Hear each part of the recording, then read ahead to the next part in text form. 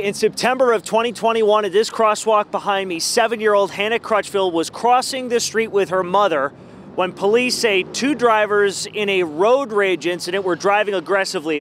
Court documents say one of those drivers, Torrell King, allegedly hit a car at that stoplight. The other driver in the incident, Meah Sargent, who was 17 at the time, also allegedly hit a car. Court documents say the car Sargent crashed into hit Crutchfield, her mother, and a crossing guard seven year old Hannah, was killed. King was in court Tuesday for a pretrial hearing facing reckless homicide and criminal recklessness charges. His attorney, Andrew Redd, asked for another continuance to gather data from the vehicles that crashed in that incident. Judge Mark Stoner reluctantly allowed it and said it would be the final continuance as the jury trial has now been rescheduled for the eighth time.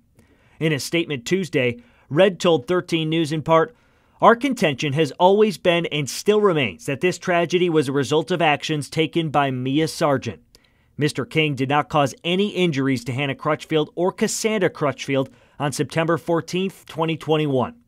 Mr. King did not cause this tragedy. Mr. King is not guilty of the accusations against him, and we look forward to the opportunity to have a jury of his peers exonerated. King's jury trial was supposed to start next week.